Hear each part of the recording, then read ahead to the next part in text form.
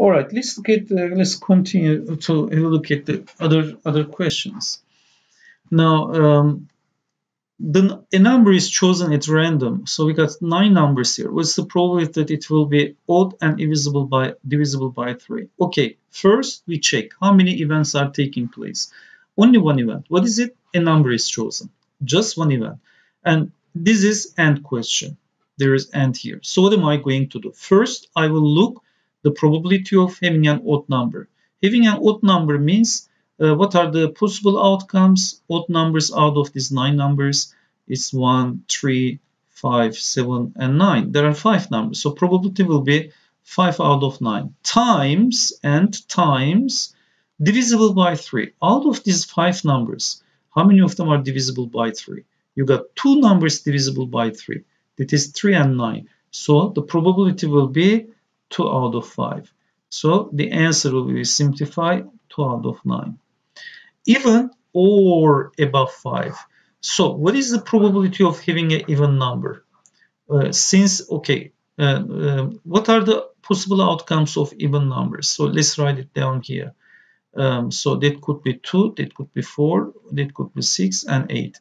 Uh, or above 5. Above 5 means that could be 6, 7, 8 and 9. Alright, so do we have anything in common between these two sets of numbers? Yes, we have uh, that is 6 and 8 are in common. So how do we call this event? This is non-mutually exclusive event. So then what is the formula? Uh, probability of even or uh, divisible by 5 is equal to probability of even number plus probability of divisible by 5 minus probability of even and divisible by 5.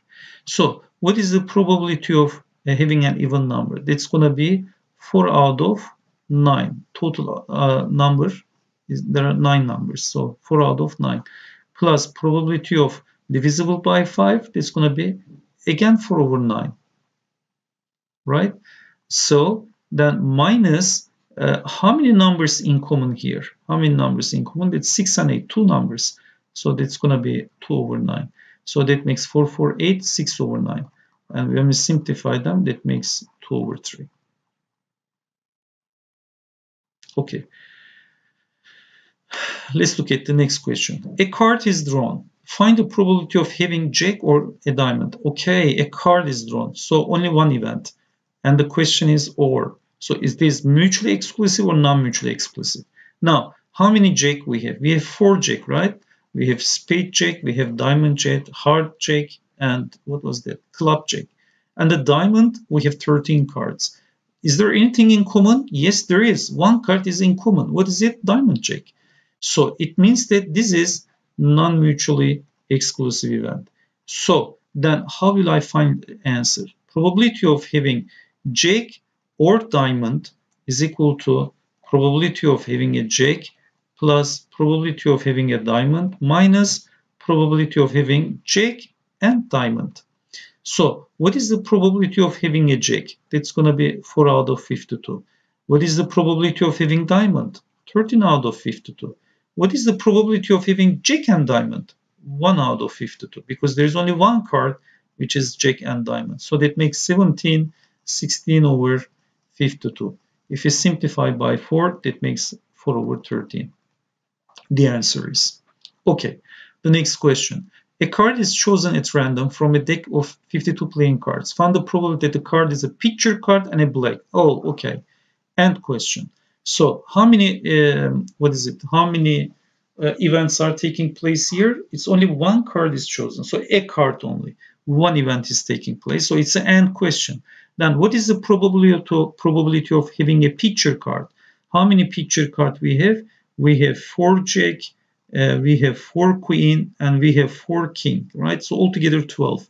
So 12 over 52 times out of these 12 cards, how many of them are black? We have two black jack, two black queen, and two black uh, king. So that makes 6 out of 12.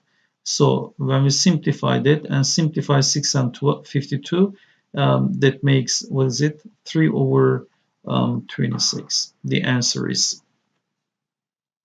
picture card is 12 out of 52 and a and a black out of 12 cards is 6 over 12 uh, so that, that that makes 3 over 26 okay the next is a king or a red card. Now is there anything in common king and red card? Yes two king cards are red heart king and uh, uh, diamond king so this is what non-mutually exclusive event so then probability of king or uh, king or red uh, is equal to probability of king plus probability of red minus probability of king and red. So what is the probability of having a king? 4 over 52. What is the probability of having a red card? We get altogether 26 red card. Minus probability of king and red, we have only two of them, 52. So that makes 28 over 52, 4 plus 26, 30 minus 2, 28, divided by 4, that makes 7 over 13 the answer. Alright, a dice is rolled twice. Find the probability of having same numbers. Two numbers are even. So when the question is a dice rolled twice, then you just write the outcomes. 1, 1, 1, 2, 1, 3, 1, 4, 1, 5, 1, 6 it can be. It can be 2, 1, 2, 2, it can be 2, 1, 2, 2, 2, 3, 2, 4, 2, 5, 2, 6. It can be 3, 1, 3, 2, 3, 3, 3, 4, 3, 5, 3, 6 it can be 4 1 4 2 4 3 4 4 4 5 4 6 it can be 5 1 5 2 5 3 5 4 5 5 5 6 it can be 6 1 6 2 6 3 6 4 6 5 6 6 all right how many outcomes altogether there are 36 outcomes altogether same numbers so same numbers mean uh, okay same numbers which one same numbers so it can be 1 1 2, 2, 3, 3, 4, 4, 5, 5, and 6, 6. So the answer will be possible outcome 6 over 36. So that makes 1 over 6. Two numbers are even. So what two numbers are even? Two numbers must be even. This cannot be because one is odd number. Two numbers are even. We've got um, 2, 2 here. We got 2, 4 here, 2, 6 here. Here cannot because 3 is odd. So it can be 4, 2, it can be 4, 4, it can be 4, 6. Here cannot 5, uh, odd number. It can be 6, 2, it can be 6, 4, it can be 6, 6. How many possible outcome are there? 3, 6, 9. So the answer will be 9 out of 26. So that's going to be 1 over 4.